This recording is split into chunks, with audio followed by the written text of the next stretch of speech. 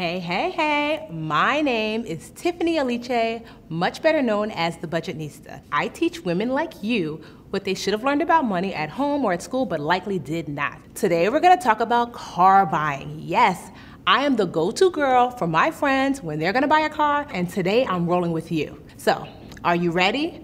Are you ready to car shop more responsibly? Let's go. So let's talk about what you need to do before you head into the dealership. You have to really get your credit straight.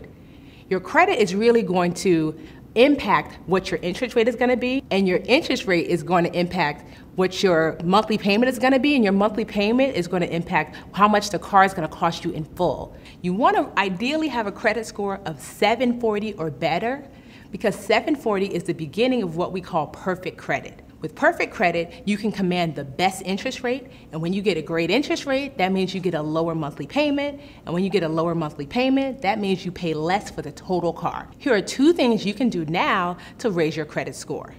I want you to pay down as much debt as you can because that's 30% of your score, how much you actually owe.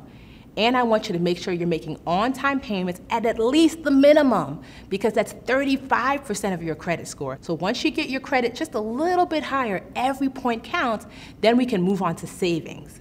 I want you to save because you should always put down a down payment when you're purchasing a car if you're not gonna pay for it cash. It would be awesome if you could buy a car cash, but most of us can't do that. So no down payment is a no-no. So now we have your credit straight, now we have your savings, now it's time to finance if you're gonna finance your car. Here's the rule of thumb when it comes to financing.